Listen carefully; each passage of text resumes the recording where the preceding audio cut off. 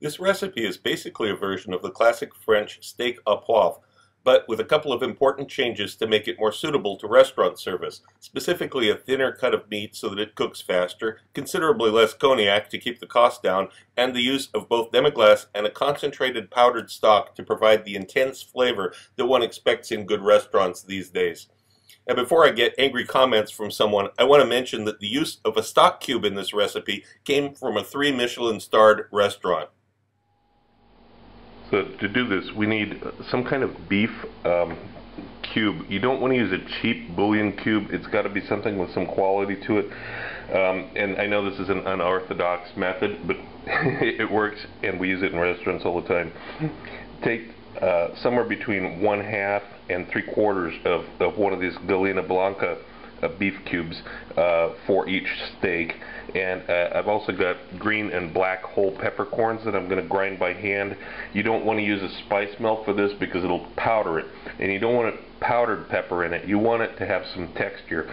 So you need to hand crack it. First, I powdered that uh, stock cube. And now I'm going to add the peppercorns. A little bit more. And now crack these. You don't want to don't want to pulverize them, but you don't want you don't want whole peppercorns in it either. And then you spread it out on a plate like this, and uh, we turn our attention to the meat next. In order to make this economical and also um, to make it uh, consistent, you get large pieces of meat like this, and you slice off your own steaks for this. Now I'm cutting this much thinner than most people would make um, this dish because this is just a different version of it, that's all. Um, and this particular piece we got here has got a chunk of fat in the middle that's not too desirable. Now I could uh, ignore it and, and the final dish would just have a chunk of fat in it, uh, but this is this is a little bit heavy, so I'm going to go in here and, and try to get rid of this and when we flatten this out it'll be okay. It'll it'll kind of stick together. Also got a band here of connective tissue. This isn't going to be too pleasant either for somebody eating it. So I'm going to go in and excise this little piece here too.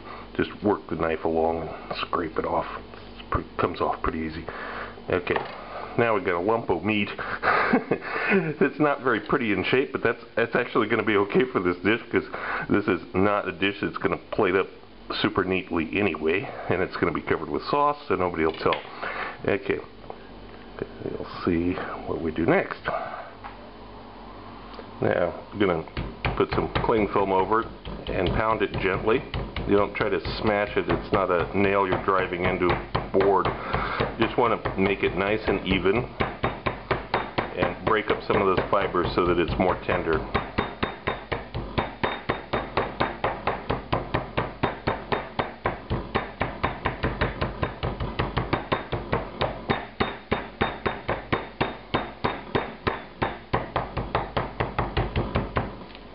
When you pull it up from the board, it regains its shape a little bit.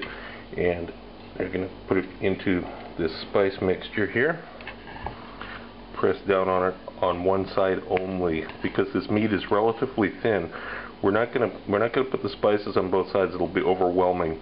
We're just going to put it on this one side. It's got plenty of salt in there from that um, stock cube.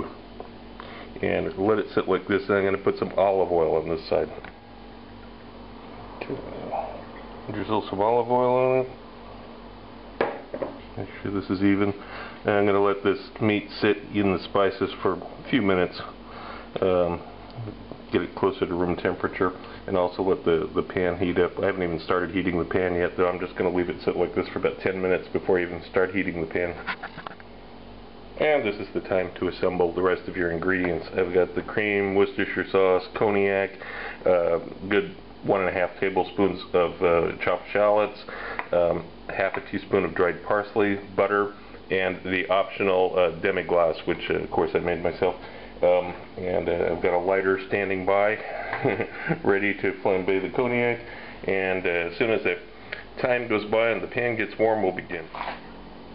The pan gets up to about 300 Fahrenheit, Celsius.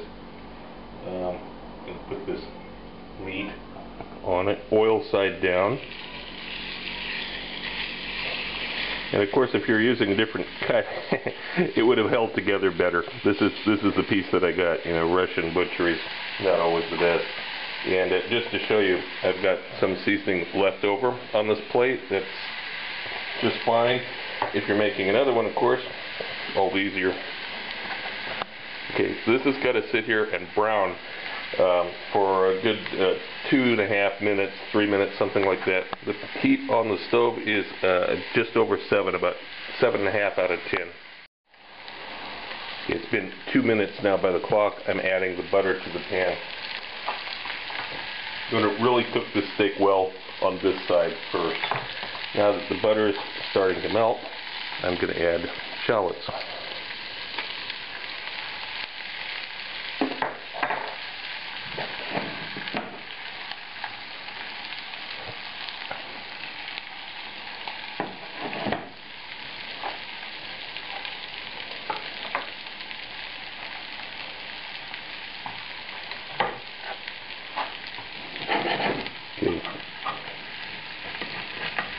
Now, flip it over.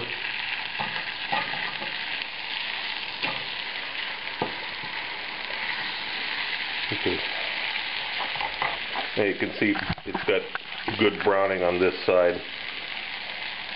The butter's uh, holding it together. Now I'm going to add Worcestershire sauce.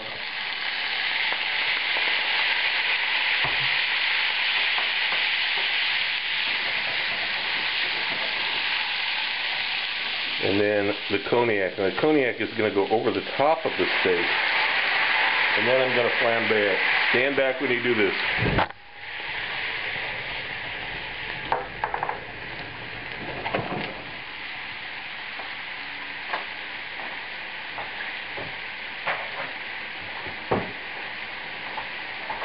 Well, in reality, the steak is almost cooked at this point. You're just going to give it like another uh, 30 seconds because it was it was pounded and it was fairly thin piece of meat. Pieces of meat the way it is now. We're going to have to fix this back together on the plate when we plate it up because it uh, it came apart a little bit. It's not not unusual thing. It's not a problem. Okay, I, I gave it just another minute here. We're going to move it over to a plate here to hold. like I said, we'll, we'll fix this up later. And now we can add some demi-glace. If you don't have this, you can add beef stock or you can add water and some cream and the dried parsley.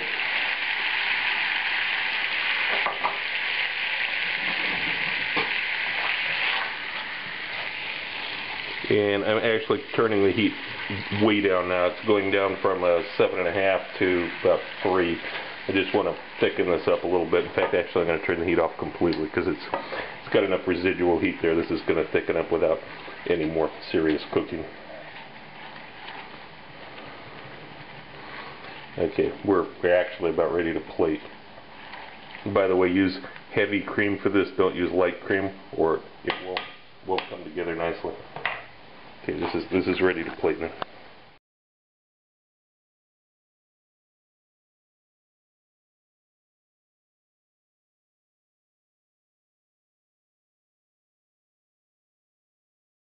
If you want to know more about my adventures as a chef around the world and have some great laughs along the way, be sure to check out the video tour of my book, 40 Years in One Night. It's up on YouTube right now. Click the link. If you like my videos, look for my cookbook, now available through Amazon, Barnes & Noble, and other internet bookseller sites. Also look for my cocktail book, Cocktails of the South Pacific and Beyond, Advanced Mixology available through Amazon online.